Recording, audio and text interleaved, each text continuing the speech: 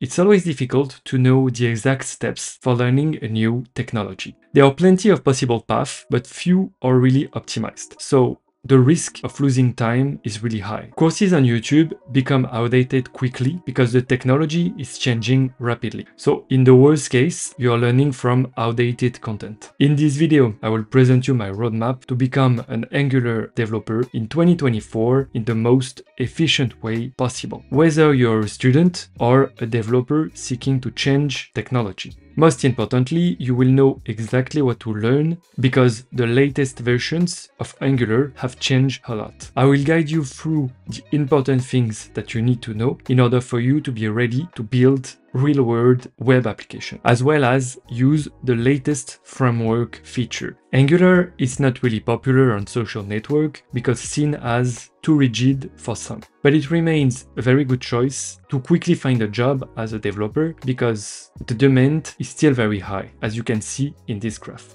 Angular still remains very strong because it ranks at the second place directly behind React. So that's definitely a solid choice in 2024.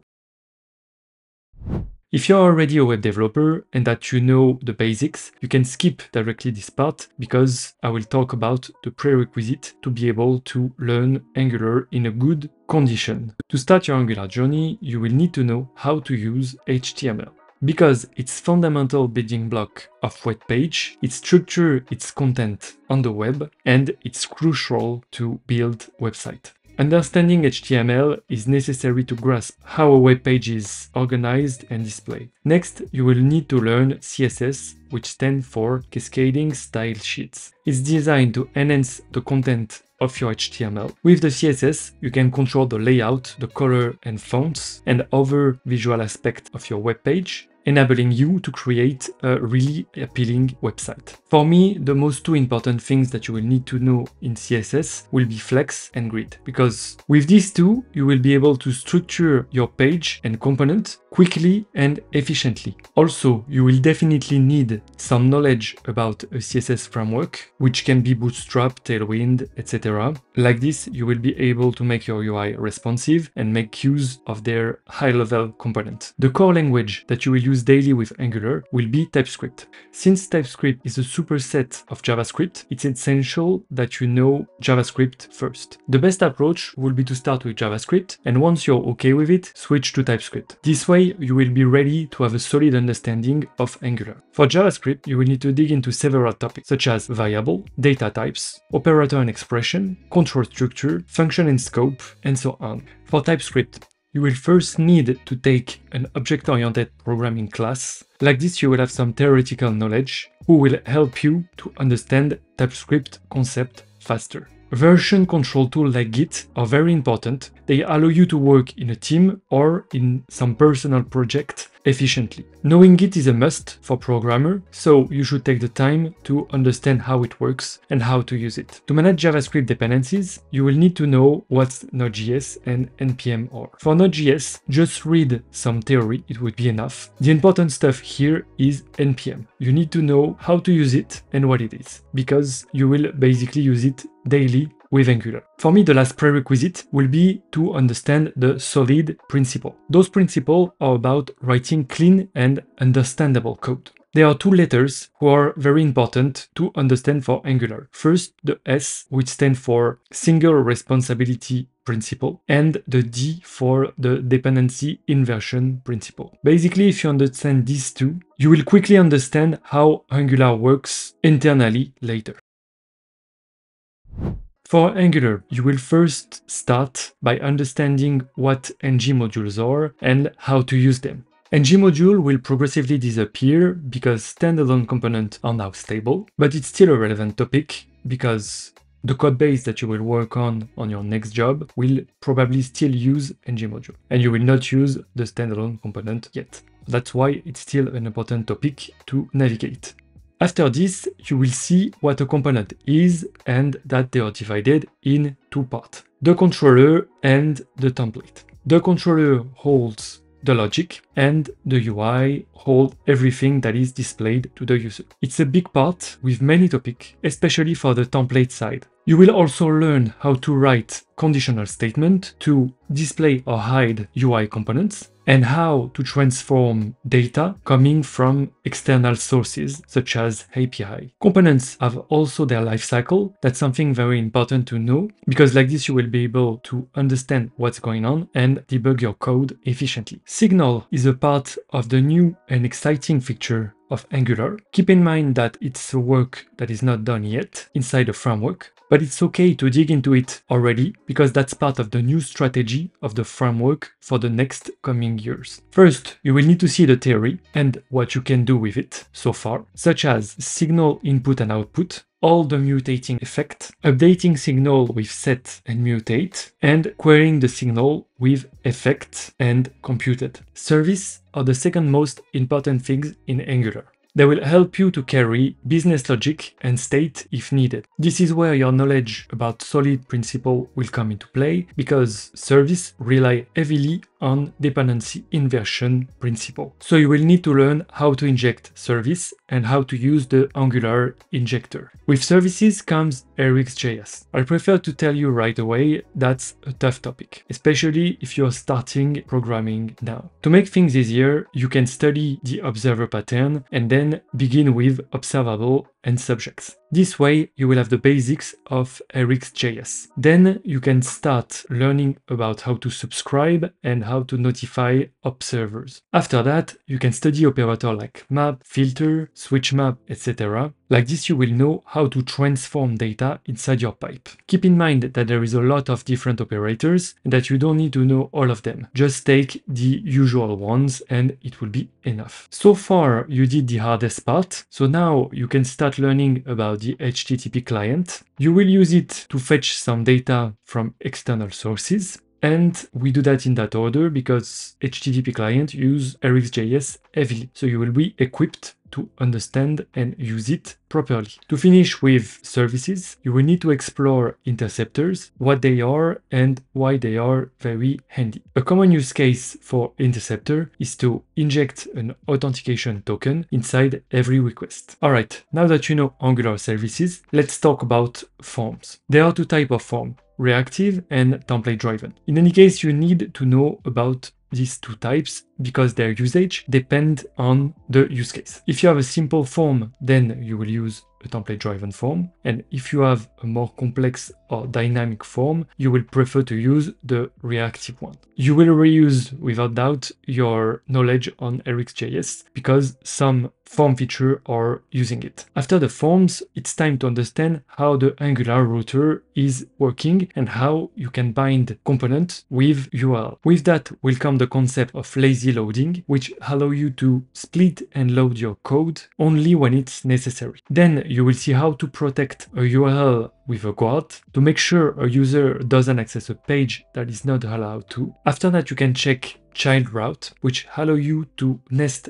a component with URL segment. Standalone component are now stable, so that's a good time to learn about them. It's a way to get rid of modules, which means that standalone component doesn't need to be imported into any modules. It will simplify the development workflow and also stop confusing everyone because module management is a pain. You will need to see how to configure your application as well as your component to be able to import, route, lazy load, import your module, etc. If you like what I'm doing on this channel, you can subscribe and hit the thumbs up button. It's helping me a lot. Thanks. Testing is mainly divided in two different categories, unit testing and end-to-end testing. For unit testing, you will need to learn how to test component and services. It's a bit different because they have different purposes.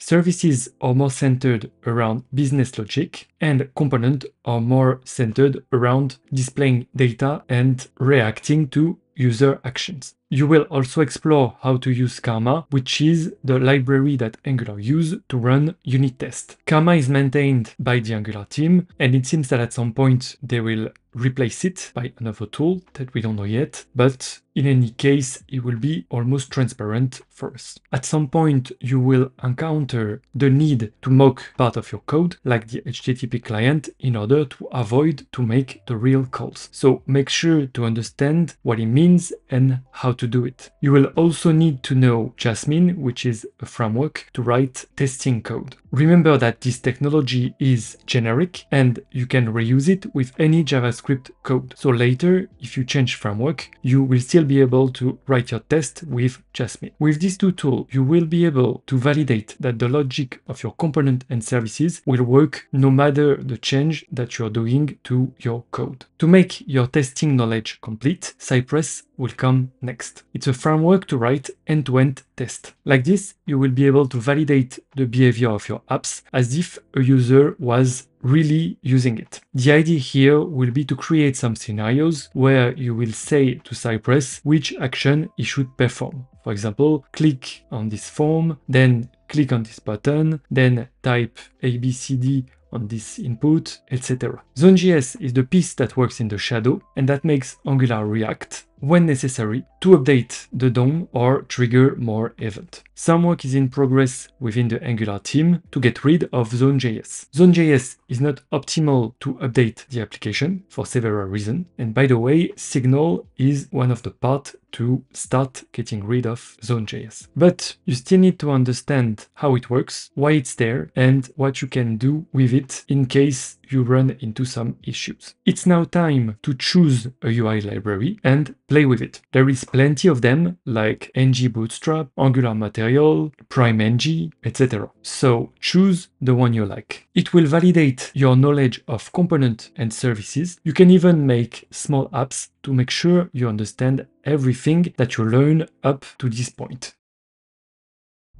You should be able for now to make coding project with Angular. However, if you want to go beyond and learn more advanced stuff, here is a bunch of topic that you can work on. First, you can dig more on RxJS. Try to build an autocomplete, manage state inside a service, or cache an HTTP query. These three topics will force you to go more in depth in RxJS. There are two main ways to handle internationalization in Angular. You can use the default i18n library that is by default in Angular or an external libraries which is called ngx translate. Both have their pros and cons. The default i18n libraries has better performance, but is less dev friendly, whereas the ngx translate is slower, but it's more usable on the developer side. In any case, I will advise you to know both. Like this, no matter the project that you work on, you will be ready to handle it no matter what. NgRx is a state management library that helps you to create highly reactive apps. To begin with, you can start by learning about the Redux pattern to learn NgRx quickly. After this, you can have a look at action, reducer, selector, and effect, which are the building blocks of NgRx. Then you can explore development tool, NgRx entity, and data in order to be faster and write less code. Remember that is a very advanced topic and that you need to have very good foundation before beginning to learn NgRx. With Angular, you have some different change detection strategy. And of course, depending on the one that you choose, you will have some trade-off. It's nice to know between them because you will be able to choose wisely and that's what will make you an expert later. Another advanced topic is SSR, the server-side rendering, or SSG, the static site generation. The idea of SSR is to render your page or component on the server. Like this, you will be able to have nice SEOs as well as avoiding performance hit on the old device of your users. SSG is a bit different than SSR because it will generate the page at compile time and not per request. Last but not least, you can have a look at hydration, which is a technique coupled with SSR that enhance the performance of it by avoiding to do extra work than necessary. Like, for example, avoiding to recreate DOM nodes. The idea is to be faster to render page and avoid calling the server if it's not necessary. For both of these techniques, I would advise you to play with it and learn how it works. Like this, you will be ready if you need to use it on a real project. Alright, I hope this video was useful for you. I will put the roadmap document in the description. Like this, you can come back at it anytime and track your progress. If you have any question, don't hesitate to reach out in the comment section. If you like this video, you can subscribe and hit the thumbs up button. It will help me a lot. Thanks and I will see you in the next one.